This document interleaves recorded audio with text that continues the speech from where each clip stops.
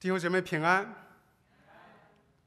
今天教会的网络时好时坏，相信我们的生命当中，我们也会遇到各种我们意想不到的事情。但是，我们也相信，不管情景如何，神给我们的上面从天所赐的平安，永远会伴随着我们。我们一起来同心的祷告。天父，我们感谢你，因着你宝贵的救恩，我们可以与你面对面敬拜你、赞美你、感谢你，并在敬拜当中，主啊，我们领受你所赐的话语。今天，孩子特别求你洁净我的口，也打开我们众弟兄姐妹的心。真理的圣灵引导我们，使今天不管是讲的还是听的，都蒙你话语的激励和造就。奉耶稣基督的名祷告，阿门。今天跟弟兄姐妹分享的题目是“神国的工人”，是基于记载在《使徒行传》二十章，保罗与以弗所教会的众长老在米利都话别的。感人故事，别离应该是我们人生当中最让人感慨动情的场面之一，也是很多的电影、电视、文学作品所描写的场面。我们大多都是漂洋过海来到美国的，相信别离在我们的生命当中，我们经历了很多次。机场久久的拥抱。火车站站台上快速的奔跑离去的火车，挥着手口喊着说：“给我来信。”当然，现在都是高速火车站台，我们都进不去了，可能也很少写信了。不管怎样，别离往往是伤感的，有时候是撕心裂肺。别离的时候所说的话。也是发自内心的，是最诚恳的。今天的故事发生在保罗第三次宣教的回程上。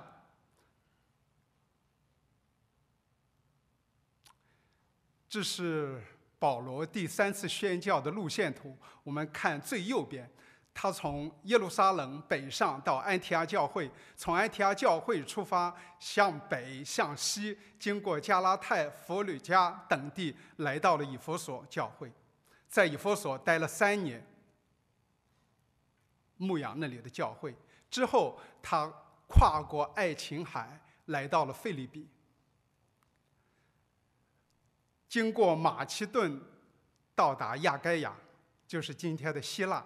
他在哥林多待了大概三个月之后，北上，经过费里比，来到特罗亚。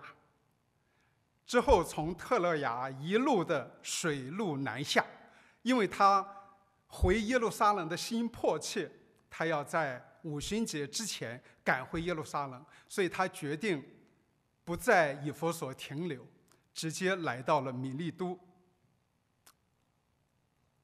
米利都跟以弗所这两个城市大概五十公里的距离，也就是我们这里到芝加哥市中心的距离。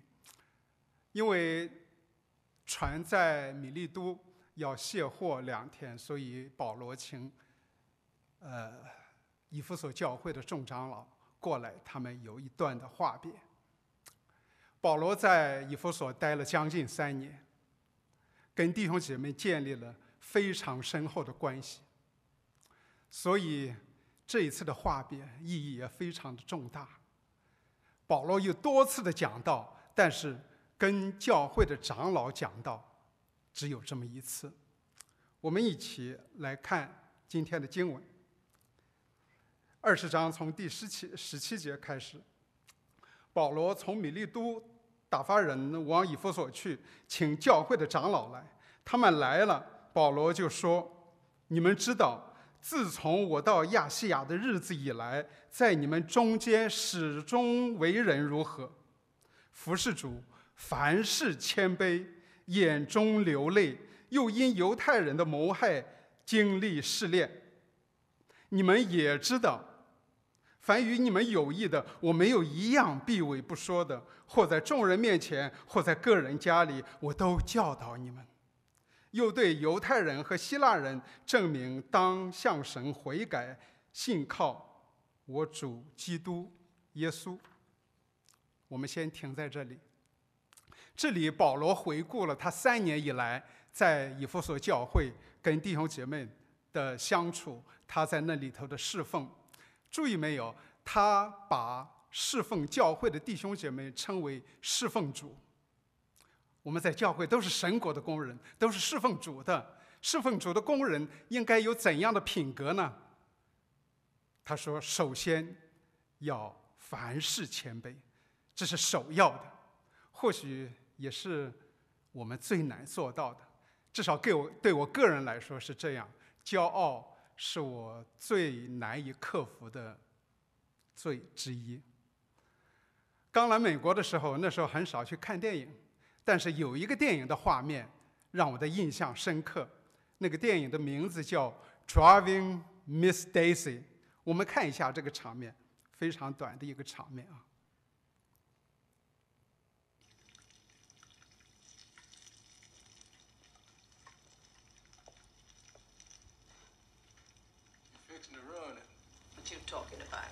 Well, you got the chicken too close together there, and the fire's way too high. Mind your business. Well, show chicken.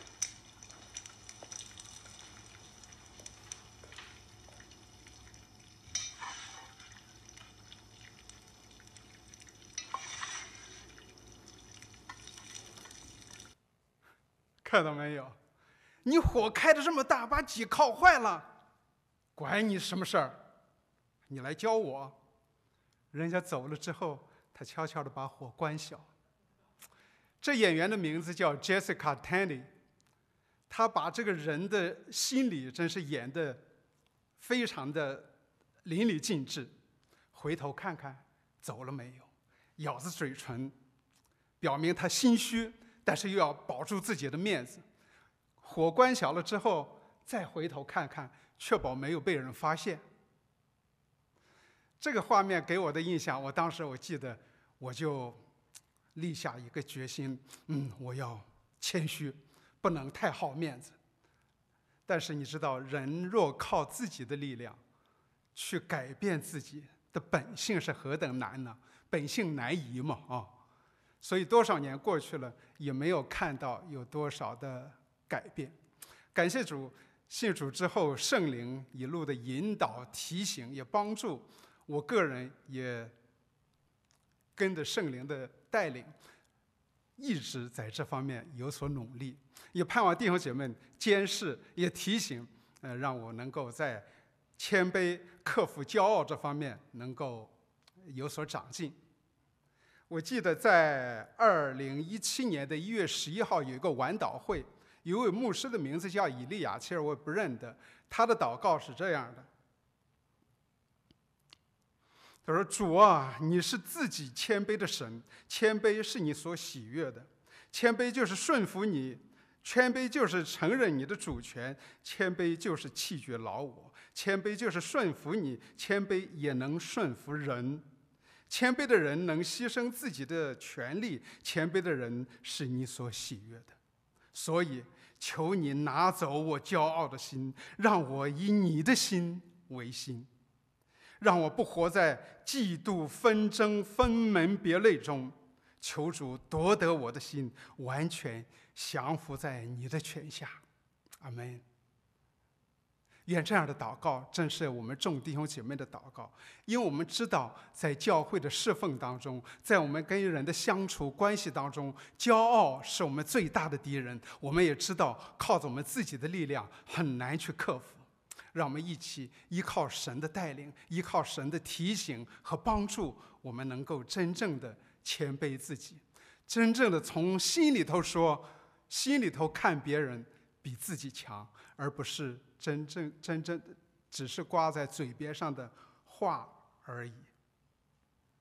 只有谦卑下来，我们在祷告当中靠圣灵的引导，我们才能彼此的勉励，同德造就，共同的提高。接下来，保罗说：“服侍主他眼中流泪。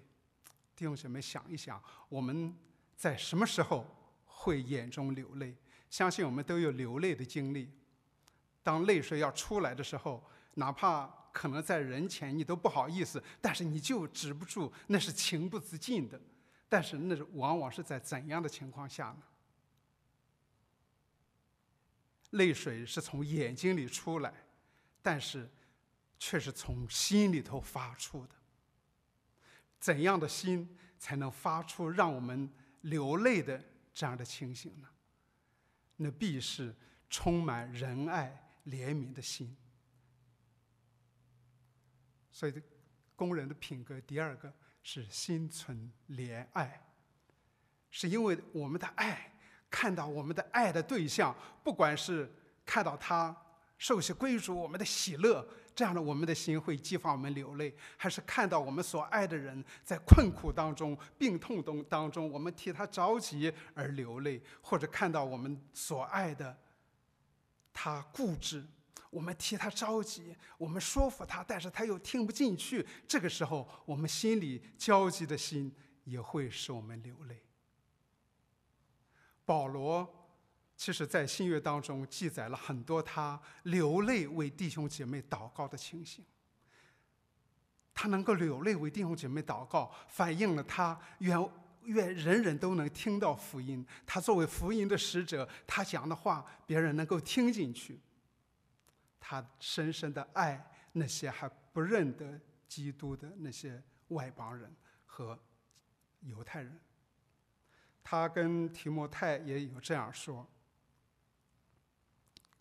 提摩太四章二节有这样的记载啊，他说：“勿要传道，无论得时不得时，总要专心，用百般的忍耐，各样的教训，责备人、警戒人、劝勉人。”他是为灵魂、爱灵魂而着急。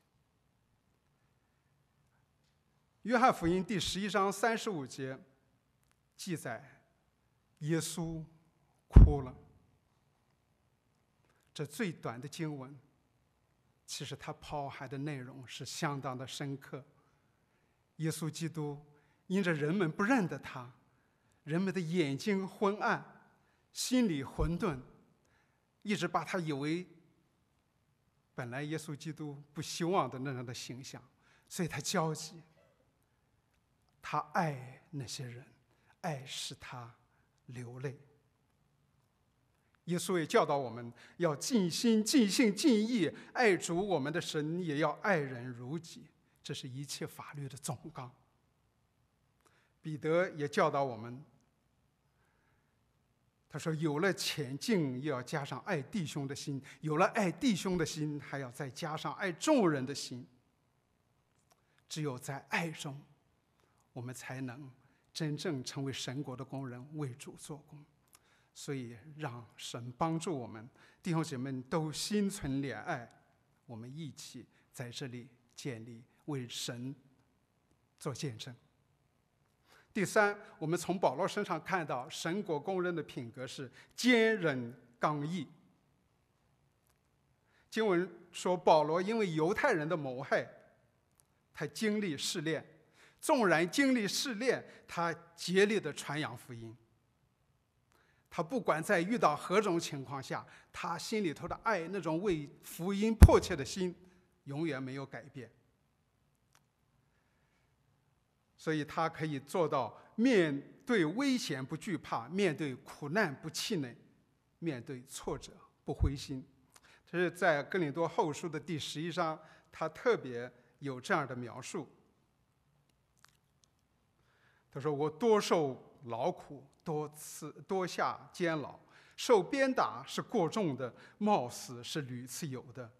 被犹太人鞭打过五次，每次四十，减去一下；被棍打了三次，被石头打了一次，遇着船坏三次，一夜一昼在深海里。”有屡次行远路，遭江河的危险、盗贼的危险、同族的危险、外邦人的危险、城里的危险、旷野的危险、海中的危险、假弟兄的危险。受劳碌，受困苦，多次不得睡，又饥又渴，多次不得食，受寒冷，赤身露体。除了这外面的事，还有为众教会挂心的事，天天压在我身上。哇，他承受怎样的压力？但是在这样的压力之下，我们看到他更加的坚强。危险当中，他更加的坦然。他坚韧刚毅，竭力完成主的嘱托，为我们立了很好的榜样。最后，我们看到保罗，他光明磊落，全然、全心的为人，全身为人，在二十章二十节。圣经讲他他说：“凡与你们有益的，我没有一样避讳不说的，或在众人面前，或在个人家里，我都教导你们。”注意，他这里特别强调强调，凡与你们有益的，只要与众人有益，其他的都可以置之度外。其实二十章二十节，这也是基督。徒我们基督教伦理的一个很重要的原则：我们做事，我们说话，是只顾我们的个人的一时之快呢，还是全心为人？格林多前书十章二十三节也曾有这样的教导：说凡事都可行，但不都有益处；凡事都可行，但不都造就人。愿我们所做所说，真是能够造就人。说造就人的话，做事情也造就众人。我经常在想，我们在教会当中，我们弟兄姐妹相处的时候，我看到了一个弟兄，他的行为可能不是太合适，我会不会以爱心直接跟他交流？这样其实对弟兄是有帮助的。还是因为害怕得罪人，害怕别人看我，从我个人的角度出发，不去说，或者更有甚者，背后去传言。这样的话，非但不能建造，反而毁坏。愿我们在做任何的事情有同理心，想想这件事情做出去，话说出去，是否有助于建造众人。啊，我们做事要全心为人。我们接下来看下面的经文，二十章二十二节说：“现在我往耶路撒冷去，心甚迫切。”原文作“心被捆绑”，不知道在那里要遇见什么事，但知道圣灵在各城里向我指证，说有捆锁、有患难等待我。我却不以性命为念，也不看为宝贵，只要行完我的路程，成就我从主耶稣所领受的职事，证明神恩惠的福音。他这里说行完我的路程，这里行原文其实是跑的意思，跑完这一段全程。保罗经常。以运动员作为比喻来形容他，他这个心的迫切，他要跑完这一段路程。心被捆绑，表示圣灵在催逼他，那是从神而来的使命。这使命就是要成就他从主耶稣基督所领受的职事，来证明神恩惠的福音。在当时，我们相信这个使命可能也包括他刚从马其顿雅盖亚那众教会那边好多弟兄们、弟兄姐妹所奉献的款项，他要迫不及待地把这些款项带到耶路撒冷本会。在当时，使命也有这一项。他在罗马书第十五章有详细的呃记录，也说明他为什么这样迫切。从这段经文，其实我们看到，保罗现在这一段路程，或者说我们神国公认的道路，至少有三个特点。第一个特点，他有清楚的呼召，他有个意向，他前面有个标杆，他清楚知道，清楚知道奔跑的目标，他知道自己做什么，为什么而做。第二点，他不知道这条路上会经历什么，有很多不定的因素，可能有试炼、有危险，甚至有患难，都在等待他。其实二十一章也有弟兄劝保罗说：“你不要去耶路撒冷，你到那儿去会有危险的。”第三，没有捷径，他是必须走的一程。保罗知道是圣灵催逼他，他必须甘心的顺服，步步的跟随，没有捷径。保罗为什么能够坦然的、毅然决然的去走这条路呢？其实他这个地方自己讲的非常清楚了，就是为了完成从主耶稣所领受的指示，来证明神恩惠的福音。他能够坦然的去面对，他在其他的书信上其实有很多的说明。在哥林多后书四章七到十节，他这样讲：我们有着宝贝放在瓦器里，要显明这莫大的能力是出于神，不是出于我们。我们四面受敌，却不被困住；心里作难，却不致失望；遭逼迫，却不被丢弃；打倒了，却不致死亡。身上常带着耶稣的死，使耶稣的生也显明在我们身上。在六章八到十节有这样的说：“他说，荣耀、羞辱、恶名、美名，似乎是诱惑人的，却是诚实的；似乎不为人所知，却是人所共知的；似乎要死，却是活着的；似乎受责罚，却是不至丧命的；似乎忧愁，却是常常快乐的；似乎贫穷，却是叫许多人富足的；似乎一无所有，却是样样都有的。阿门。正是因着这样的信心、这样的呼召、这样的意向，保罗他可以面对捆锁、面对患难而勇往直前。他深知神是他的依靠，他也知道他不孤单，一路上有神的带领。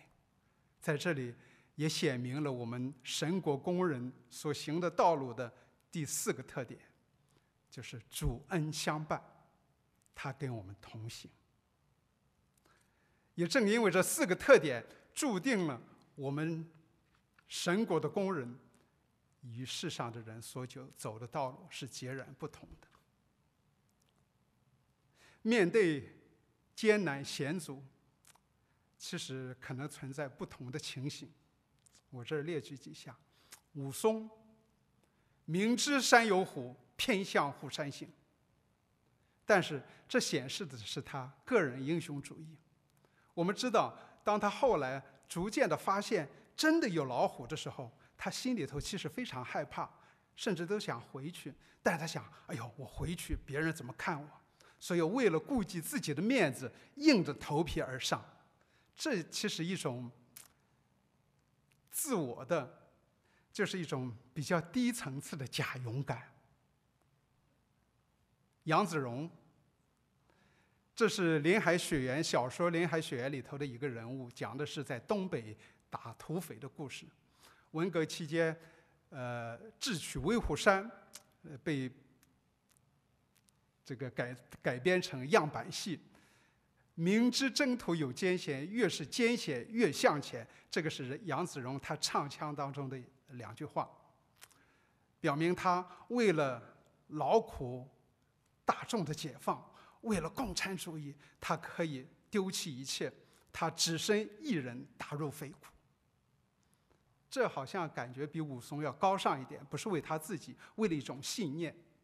但是，信仰的对象决定了信仰的价值。再说一遍，信仰的对象决定信仰的价值。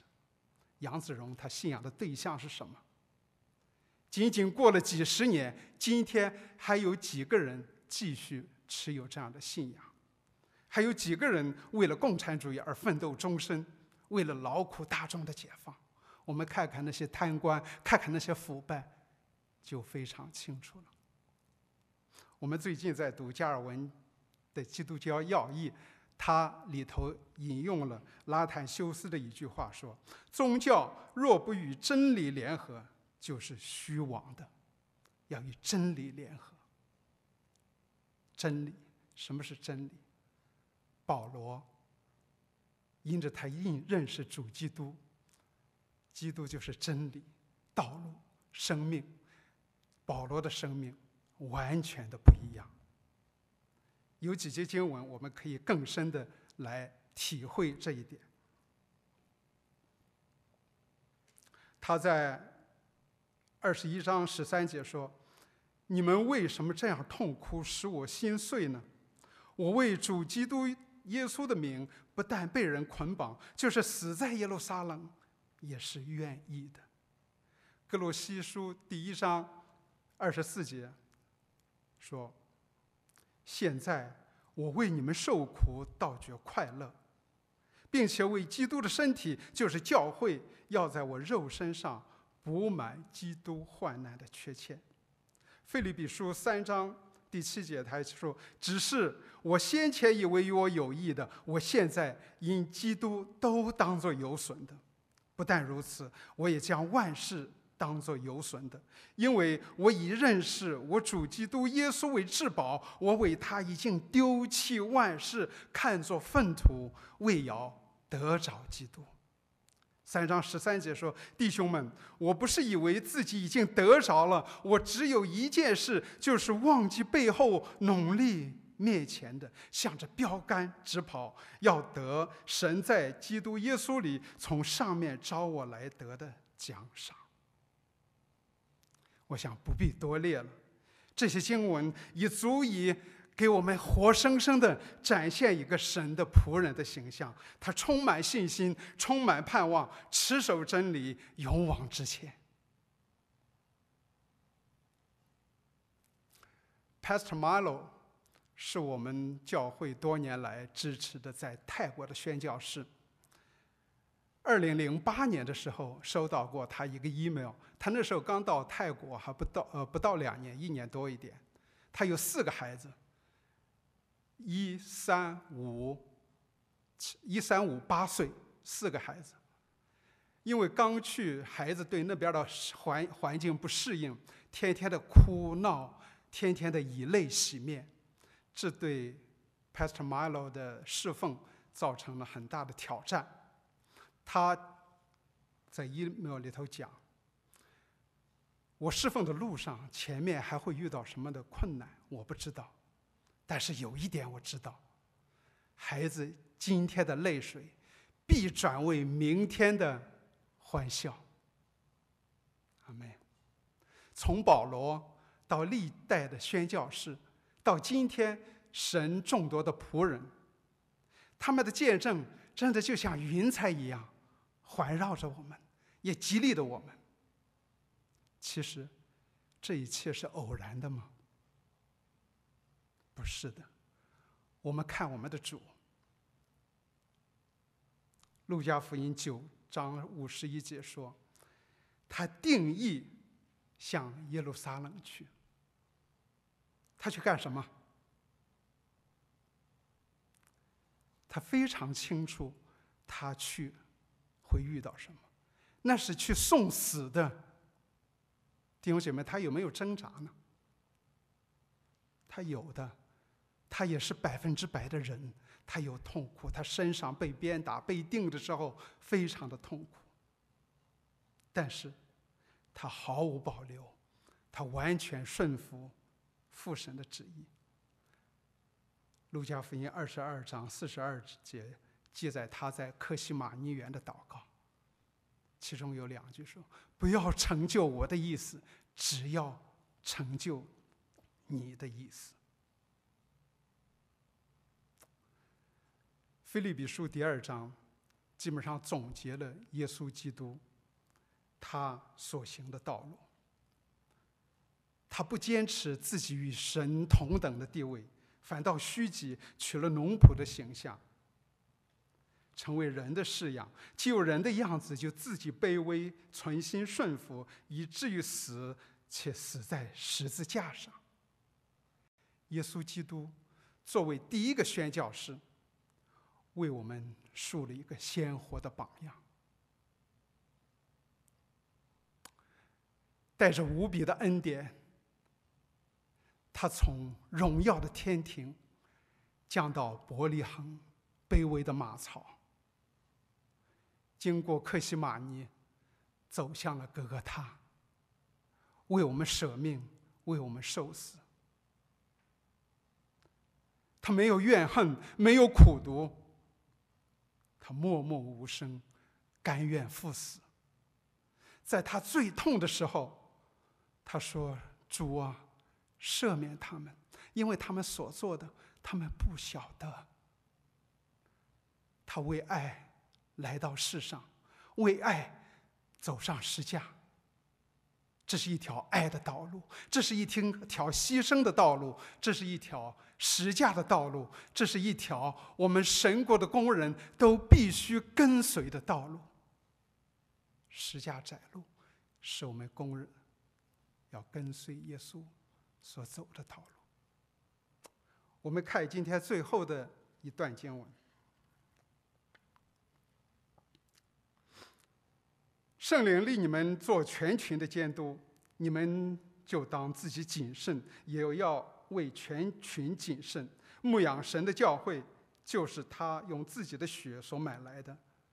我知道我去之后，必有凶暴的豺狼进入你们中间，不爱惜羊群；就是你们中间也必有人起来说悖谬的话，要引诱门徒跟从他们。所以。你们应当警醒，纪念我三年之久，昼夜不住的流泪劝诫你们个人。如今我把你们交托神和他恩惠的道，这道能建立你们，叫你们和一切成圣的人同得基业。我为贪图一个人的金银衣服，我这两只手常供给我和同人的需用。这是你们自己知道的。我凡事给你们做榜样，叫你们知道应当这样劳苦，辅助软弱的人，又当纪念主耶稣的话说：“施比受更为有福。”保罗说完这话，就跪下同众人祷告。众人痛哭，抱着保罗的景象和他亲嘴，叫他最伤心，叫他们最伤心的就是他说以后。我不能再见你们面的话，那句话，于是送他上船去了。这个场面好像就活生生的展现在我们面前，叫人动容，深受感动。保罗的话语重心长，他就要曾离开曾经三年日夜在一起的弟兄姐妹了。他以后，他说再不能见面了。事实上，他们以后真的也没有见面，不能够再在一起同为主做工了。带领以弗所教会的重任将落在这些长老身上。所以保罗只是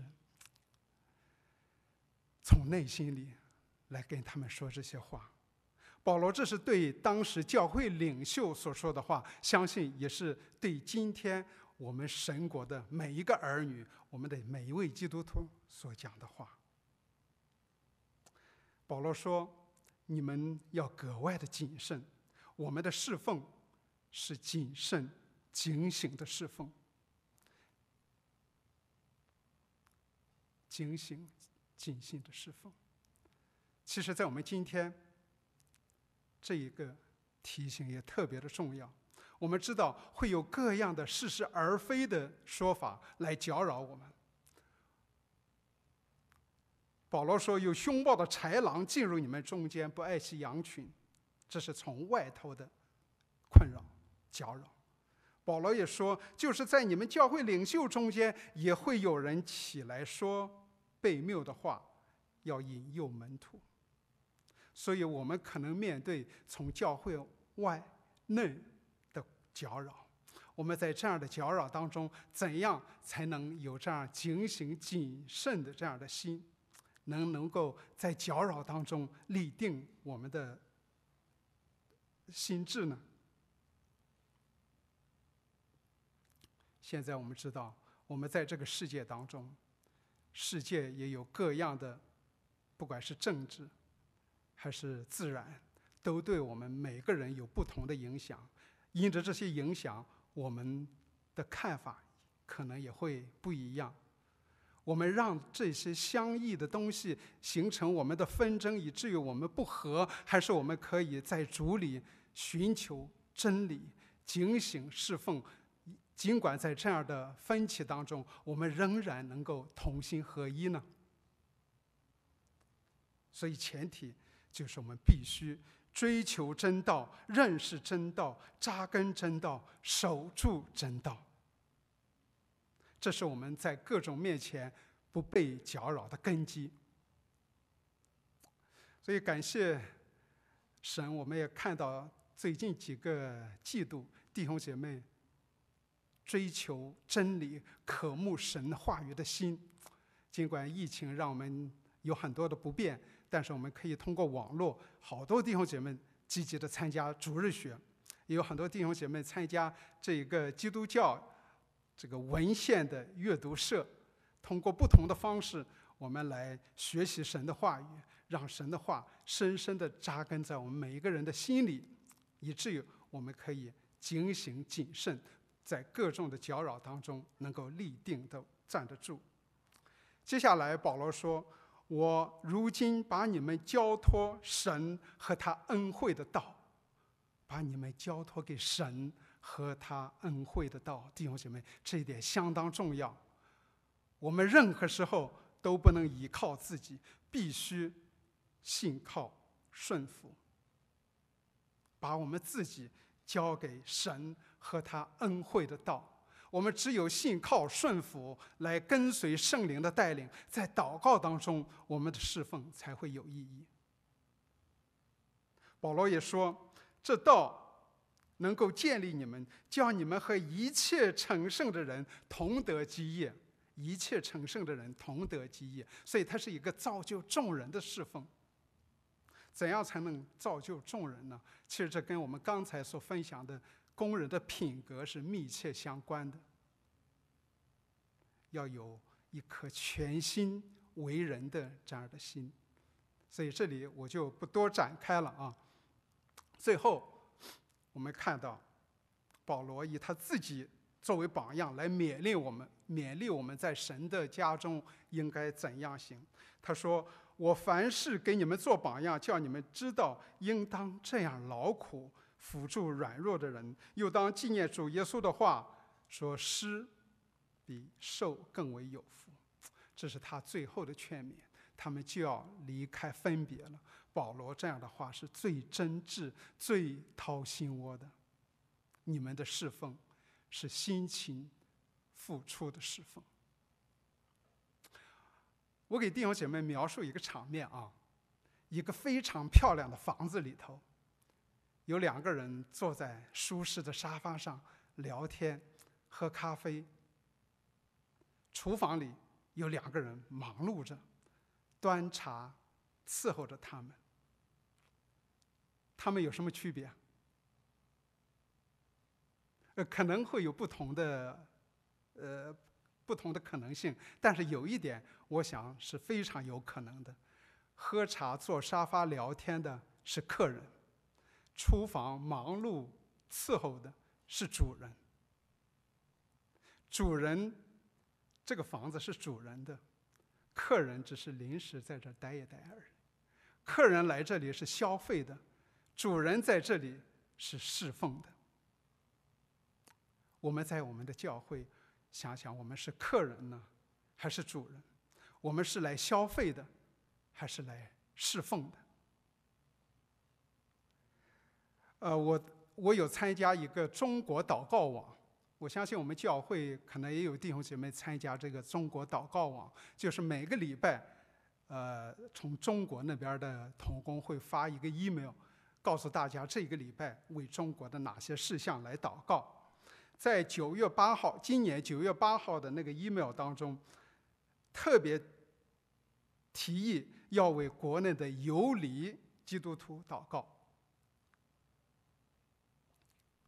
往往那时候，因为它是一周的，每一天的祷告可能会有些不一样，但是那个周每一天都为游离基督徒来祷告。在国内，游离基督基督徒是比较普遍的现象。什么是游离基基督徒呢？就是因为他们对教会的一些制度或者教会的某些做法不满，就离开了教会，就去寻找可能适合自己的教会。他们与以这个考察的目光游离在不同的教会之间，也有一些是可能从外地、国外啊、国内啊搬过来的，他们在寻求教会，也是在不同的教会之间穿梭。